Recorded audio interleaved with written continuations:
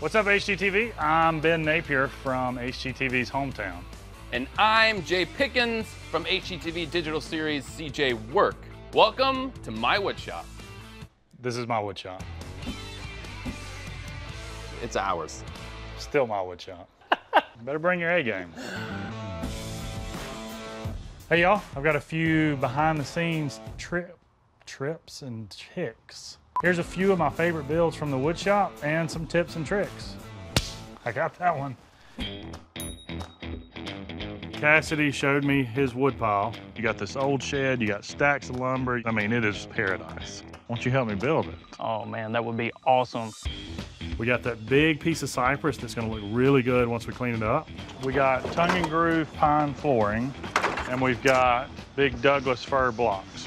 It's beat to death, but once we run through and then we take off all that grime and we get to what's underneath, it's gonna be awesome. So here's what I'm saying. You got the big long piece of cypress running down the center, frame it out with some of that old pine flooring. We tie it all together with the breadboard ends. That'd be awesome. Let's get started. I really wanted to plane that cypress first so he could see, you know, this thing that has been stored in his dad's shop, totally reclaimed and brought back to a beautiful new piece of lumber. You like that? And that is gorgeous. It immediately goes from old, nasty, and beat up to brand new.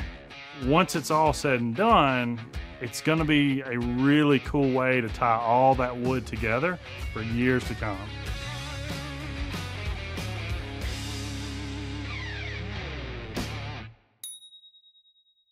When we sold Billy and Emily on removing the glassed in porch, originally I said, I'm gonna use those windows to build a buffet. As we started pulling that lumber off, I mean, it was all really beautiful. It was just covered in paint. It's all old growth pine, it's beautiful. So I knew once we started, you know, planing that down, cleaning it up, we were gonna have a lot of wood that we could build a piece out of and it's all gonna match. We're really making this stretch. You know, we're using the trim, the window casings, the faux beam around the top. By shortening the windows, we're able to use them as cabinet doors. It's everything.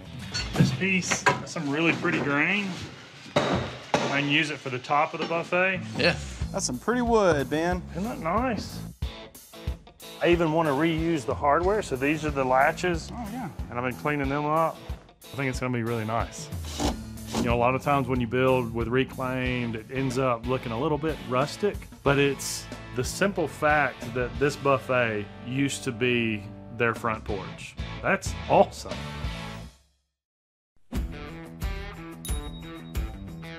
We're doing what I'm referring to as an upholstered coffee table.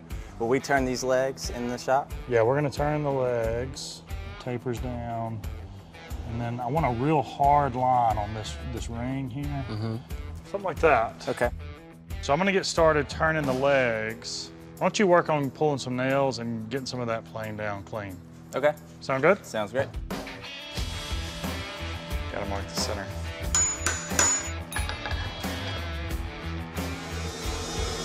This is my favorite new toy in the shop. The proper way is to hold it level, but I shaved this one down so I can really hog down on it, get it round faster. I've got all kind of little blanks that I practice on, kind of get an idea. Like all you have to do is put one little mark, and when it's spinning that revolution, see my marks? They're just like little shadows, but then I can take my pencil. Then I know where to cut. Isn't that cool? I mean, that's really dang cool.